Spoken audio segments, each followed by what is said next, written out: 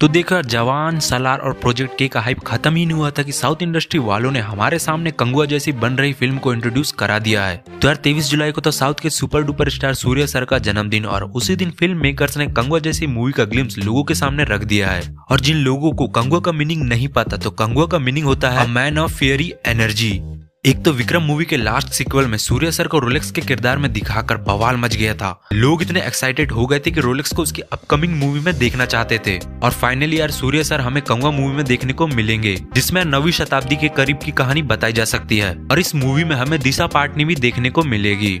तो अगर बात करें ग्लिम्स की तो फ़र्स्ट सीन में बहुत सारे लोग मरे हुए दिखाई देते हैं और हमें एक ब्लैक कलर का पैंथर भी देखने को मिलता है। फिर होती है कंगा की एंट्री जो की अपना हीरो है। हाथों में भाला लिए हुए और भाले में लगी हुई है आग। अगर आपने ध्यान से देखा होगा तो इस भाले में कुछ लिखा हुआ है। क्या लिखा है? बट क्लियर तो नहीं, मगर कुछ तो लिखा हुआ है।